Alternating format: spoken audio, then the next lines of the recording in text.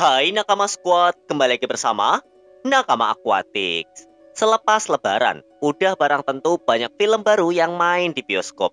Karena libur panjang, pasti kamu udah punya niatan untuk refreshing sejenak dari kegiatan sehari-hari yang musingin dengan menonton film. Minggu lalu, ada film superhero menarik rilisan Marvel Studios yang fokus kepada cerita penyihir sakti bernama Doctor Strange. Dengan kemampuan sihirnya, Doctor Strange berusaha sekuat tenaga untuk melindungi dunia dan orang-orang tersayangnya dari ancaman penjahat. Karakter superhero selalu menjadi daya tarik karena dalam kehidupan nyata, terkadang susah banget nemuin orang dengan karakter membela dan mau melakukan kerja nyata untuk membantu sesama. Dalam dunia perikanan tanah air, sosok seperti ini jujur emang sangat dibutuhkan di tengah banyaknya perubahan keadaan alam, pembangunan, dan polusi yang banyak mempengaruhi siklus hidup dan populasi jenis-jenis ikan di perairan tawar Indonesia. Di Pulau Bangka, ada sekelompok komunitas pecinta ikan hias yang rela membela kebenaran dan menolong banyak jenis ikan endemik yang perlahan terpinggirkan. Apakah mereka adalah superhero lokal dalam dunia air tawar? The Tangokers aksi nyata dalam menyelamatkan dunia air tawar Pulau Bangka. Beberapa pemuda lokal asal Bangka menggagas suatu komunitas yang bertujuan sangat mulia untuk menjaga kelangsungan hidup serta populasi banyak ikan endemik di sana yang lama-lama semakin terpinggirkan oleh banyak hal. Awalnya mereka cuma pengen membuat gerakan aja, sampai akhirnya anggota komunitas ini makin banyak dan berkembang menjadi sebuah yayasan para pemuda ini emang punya hobi yang sama, yaitu sama-sama passionate dalam mencari tahu dan meliti ikan endemik asal Bangka dan punya niatan untuk mengenalkan serta memberi edukasi kepada masyarakat lokal soal ikan-ikan endemik yang hidup di daerah mereka.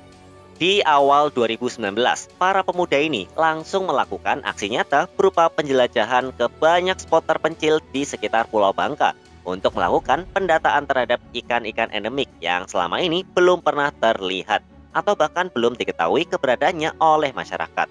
Empat orang yang menggagas terbentuknya kelompok ini adalah pemuda-pemuda pemberani bernama Diel, R, Culup, Yordi, dan Alex. Awalnya mereka mau memperkenalkan ikan-ikan asal Bangka ke pasar ikan hias untuk dijual sebagai hewan peliharaan. Karena banyak ikan endemik asal Bangka yang tampilannya kece-kece semua agenda ini mereka lakukan sebelum resmi membentuk The Tango Girls.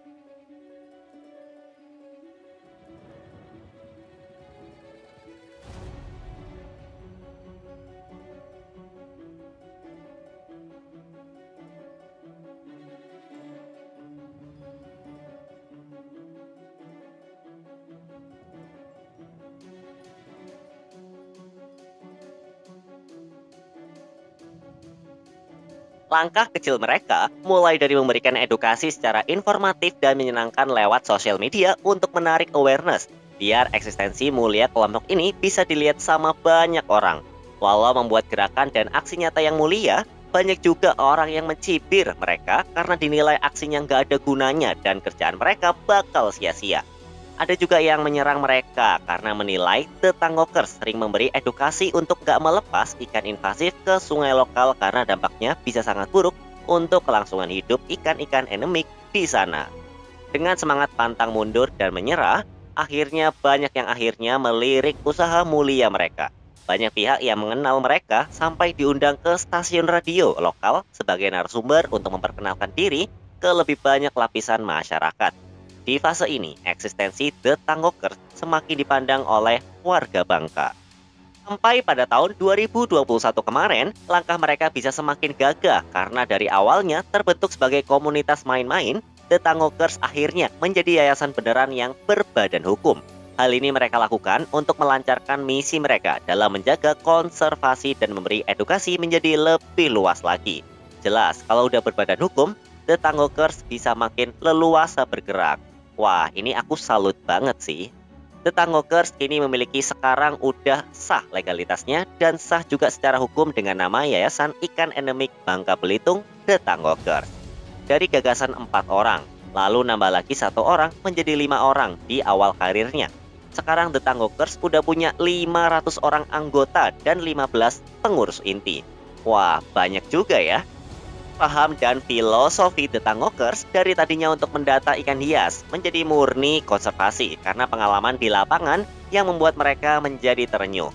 Mereka selalu melakukan perjalanan menentang medan berat demi masuk ke lokasi habitat ikan yang lagi dijadiin target pencarian.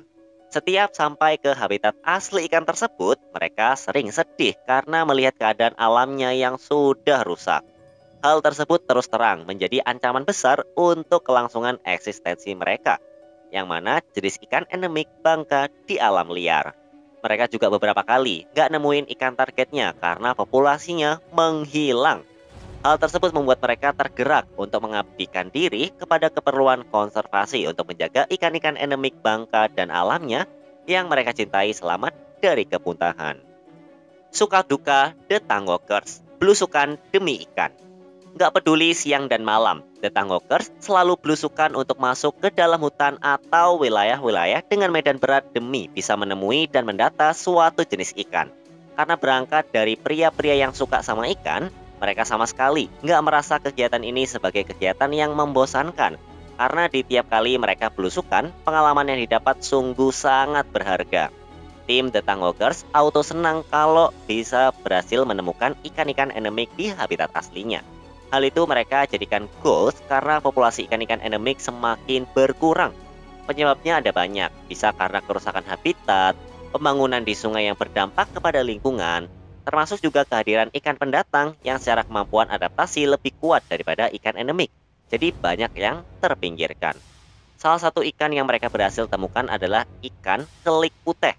Sejenis ikan lele yang berkeadaan fisik albino yang populasinya makin raib Kelik putih ini menjadi jenis ikan yang akrab di telinga para warga lokal Bangka.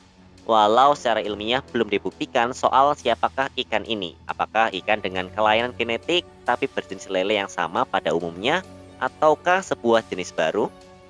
Hal itu belum terungkap karena belum ada yang meneliti ikan ini secara ilmiah. Namun warga lokal udah terlanjur mengenal ikan ini sebagai kelik putih. Untuk itulah The Tangokers langsung gercep untuk meregistrasi dan mengajukan genetik ikan ini ke LIPI untuk diliti keasliannya, sekaligus untuk menjawab siapakah dan dari manakah ikan ini. Apakah emang dari Bangka, pulau lain, negara lain, atau malah planet lain? Mereka juga sering menemukan jenis-jenis ikan yang belum terdeteksi keberadaannya, bahkan oleh jurnal-jurnal yang mereka baca dan jadikan referensi. Ditemukannya spesies-spesies tersebut ngebuat The Tangokers ngakuin kalau hal itu bikin mereka makin semangat dalam mencari, mendeteksi, dan mendata ikan-ikan endemik di sana. Suka duka dalam menjalankan roda yayasan ini udah amatlah banyak. Aku sempat ngobrol santai dengan salah satu pentolan The sekaligus pendirinya bernama Alex. Bang Alex menceritakan banyak pengalaman suka dan duka yang ia dan kawan-kawannya terima selama beberapa tahun menjalankan The. Kesulitan yang paling menghambat gerak mereka adalah soal dana. Modal menjadi faktor paling vital dalam menjalankan sebuah kegiatan.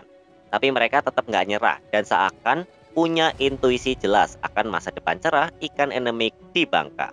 Kalau mereka nungguin ada tangan yang memberi, takutnya semua udah terlambat dan ikan-ikan endemik Bangka bisa aja udah tinggal kenangan. Mereka benar-benar bergerak sendiri tanpa adanya support dalam menjalankan aksi nyata yang sangat mulia ini. Aku sendiri sangat mengapresiasi apa yang mereka lakukan. Makanya pas ngobrol, aku ngerasa terhormat banget untuk bisa ngobrol santai dan nanyain beberapa hal ke Mas Alex. Pengalaman dan pendataan juga banyak banget yang berkesan. Mas Alex menceritakan hal ngeri yang pernah mereka alami di lapangan. Yang namanya masuk ke daerah terpencil, hutan atau rawa, ngebuat pengalaman yang mereka dapetin pasti sabrek. Mulai dari pengalaman lucu di siang hari, sampai pengalaman horor dan menyeramkan di malam hari udah pernah mereka alami dan terima dengan ikhlas. Pendataan di malam hari membuat mereka mesti masuk ke hutan dan wilayah target dengan gelap-gelapan dan ditemui sunyi serta mencekamnya suasana hutan di malam hari. Aku ke warung malam-malam aja kayaknya agak was-was ya. Eh, mereka malah masuk masuk ke hutan. Nah, emangnya nggak takut? Nah, anehnya, rasa cinta yang besar terhadap ikan endemik serta semangat mereka untuk membantu konservasi seakan menutup semua rasa takut dan ngeri yang bisa saja mampir ke pikiran mereka saat berjalan berteman dengan gelap dan sunyi di hutan malam-malam. Mereka sering mencium wangi-wangi aneh, mulai dari semerbak wangi bunga sampai bau bangkai di lokasi penataan yang sering berupa hutan dan rawa. The Tanghawkers masih bergerak malam hari, bukan karena mau gaya-gayaan ya, tapi beberapa jenis ikan yang menjadi target mereka emang hewan nokturnal dan lebih suka beraktivitas di malam hari. Makanya mereka rela untuk masuk ke hutan malam-malam. Mas Alex bercerita kalau ada sebuah pengalaman horor yang lumayan bikin aku ngeri karena ada makhluk halus yang mampir ke rombongan mereka dengan cara menyamar menjadi salah satu anggota yang lagi ikut di situ. Di balik pengalamannya yang seram tersebut, ada sebuah prestasi yang mantap yang mereka ukir karena mereka sekarang bisa mencegah beberapa pihak melepas ikan invasif karena mereka punya data ikan endemik yang mana serta habitatnya juga yang bisa untuk dilepas liarkan. Mereka sendiri udah sering koordinasi dengan pihak dari BKIPM Bangka Belitung, Dirjen Gakum KSDA RI, Balai PUPR Bangka Belitung atas hal ini. Mas Alex mengaku salah satu hal yang bikin dia pusing adalah ulah-ulah oknum yang melepas ikan asing ke dalam lingkungan sungai lokal Bangka untuk keperluan memancing. Mungkin karena alasannya sering dipancing buat dimakan, ikannya pasti kalau nggak nila ya lele nih. Dengan penuh semangat, Mas Alex berharap apa yang mereka lakukan di Bangka menjadi inspirasi bagi pemuda-pemuda lain di beberapa penjuru Indonesia untuk bisa melakukan hal yang sama karena negeri ini adalah negeri yang luas dengan suku bangsa dan bahasa, serta keadaan lingkungan yang juga jauh berbeda satu sama lain. Jadi alangkah baiknya kalau setiap kota bisa punya The Tangokers versi mereka sendiri. Gagasan yang dilakukan oleh The Tangokers jelas sangat inspiratif dan harus dicontoh oleh banyak orang di Indonesia. Soalnya alam kita sangat luas, tapi yang melindungi hampir nggak ada. Makanya baik alam atau biotanya yang bisa sangat terancam oleh acuhnya umat manusia dan perubahan iklim yang disebabkan juga oleh manusia. Ikan endemik Bangka yang mereka temui. Di Bangka sana, banyak pemancing yang rela mampir ke sungai walau waktu lagi panas-panasnya. Bahkan pas malam juga, mereka berani-berani aja. Dengan kondisi air yang masih asri dan bening, Bangka menjadi salah satu surga air tawar di Sumatera. Banyak banget jenis ikan yang udah didata oleh The Tangwalkers ada sekitar tujuh ikan yang berhasil mereka data. Jadi status angka populasinya juga makin ketahuan. Ikan-ikan tersebut adalah sebagai berikut. Yang pertama, gurame paros. Ikan ini bentuknya mirip cupang dan buat seekor ikan gurame ukurannya juga termasuk kecil. Warnanya sangat mencolok dengan aksen biru hitam di sirip serta garis-garis di badannya. Menurut data IUCN, ikan ini masih aman-aman aja alias statusnya masih jauh dari jurang kepunahan. Dulu ikan ini masih sering ditemuin. Sekarang walau statusnya masih aman, ternyata di alamnya ikan ini mulai jarang ditemuin. Sebabnya bisa karena penambangan yang membuat air sungai jadi keruh dan polutif. Lalu ada pembangunan lahan kelapa sawit yang memaksa habitat ikan ini jadi terbabat habis. Yang kedua, ikan kelik sulung. Lele itu ada banyak jenisnya. Di Indonesia pun jenis lele bukan pecel lele doang ya karena banyak jenis lele lain yang tersebar di berbagai penjuru Indonesia. Kerennya, Bangka juga punya lele andalannya sendiri, ikan kelik sulung, punya badan yang panjang kayak belut. Dia punya sirip dorsal atas yang cuma secuil, berbeda dengan ikan lain yang punya sirip dorsal dari area kepala sampai ke pangkal ekor. Habitat ikan ini adalah di hutan hujan. Yang ketiga, ada cupang alam Bangka. Spesies ini mungkin disebut sebagai ikan tampalak budu. Nah, ikan ini adalah jenis beta yang hidup di alam liar. Jelas, dia nggak kenal nih sama blue rim atau avatar, walau masih sama cupang ya. Cupang liar terkenal dengan warnanya yang lebih polos. Mereka dikenal sebagai ikan usil yang suka gangguin pemancing karena makanin umpan pancingnya. Walau masih sering ditemuin, ikan ini udah masuk ke daftar hewan yang rentan punah. Waduh, sedih banget ya. Yang keempat, Wild Beta Burdigdala. Orang-orang Bangka mengenal cupang liar asli Bangka ini dengan sebutan ikan tempalak merah. Cupang merah ini hidup di wilayah hutan hujan, rawa gambut, dan aliran air hitam atau black water di sana. Ukurannya sangat mini, yaitu cuma 3 3,5 cm. Sejak 1994, ikan ini udah masuk ke daftar ikan yang terancam punah karena habitatnya yang makin lama makin rusak karena pembangunan yang serakah. Yang kelima, ada wild beta scaleri. Bangka terkenal dengan jenis cupang liarnya yang banyak. Salah satunya adalah si wild beta scaleri yang hidup di aliran blackwater dan lahan gambut yang beraliran arus tenang nan damai. Ikan endemik ini punya nasib dengan dua jenis ikan cupang saudara sekampungnya di atas, yaitu sama-sama terancam punah. Eksploitasi tambang dan jarangnya hujan karena maraknya pembukaan lahan untuk kelapa sawit membuat habitat mereka makin tergusur dan bahkan hilang. Yang keenam, Sunda Danio gargula. Ikan ini ukurannya kecil banget, mirip sama ikan cere. Informasinya juga belum banyak diangkat di internet. Makanya upaya The Tangogers buat mengenal lebih jauh ikan kayak gini sangatlah berguna. Spesies ikan endemik Bangka ini katanya udah terancam punah sejak tahun 2011 mengacu dalam jurnal Kotela. Yang ketujuh ada Pharaspomus jue linae.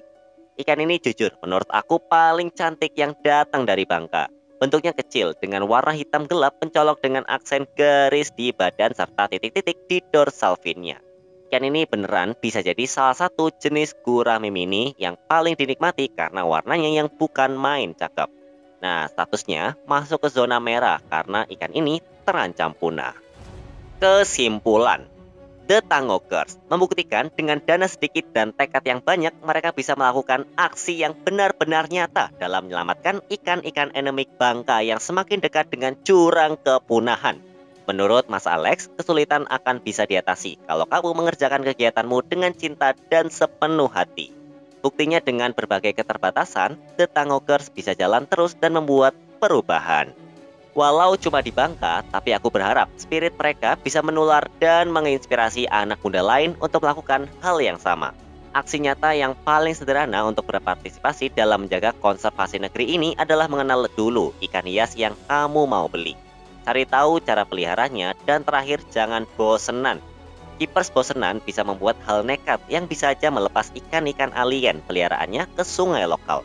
Kalau kamu tahu dan udah siapkan tanks yang sesuai dengan ukuran ikan dari segi keamanannya, yang mana yaitu udah sebuah tanggung jawab yang harus kamu pegang. Jangan sampai melepas ikan alien ke sungai lokal, jaga kebersihan sungai, jangan buang sampah sembarangan, dan terakhir jangan sampai bosenan. Kalau ngelepas ikan alien, kamu sama aja ngasih dia makanan yang banyak karena banyak spesies asal bangka yang badannya kecil. Tetangokers adalah superhero di dunia ikan air tawar yang bisa menjadi inspirasimu.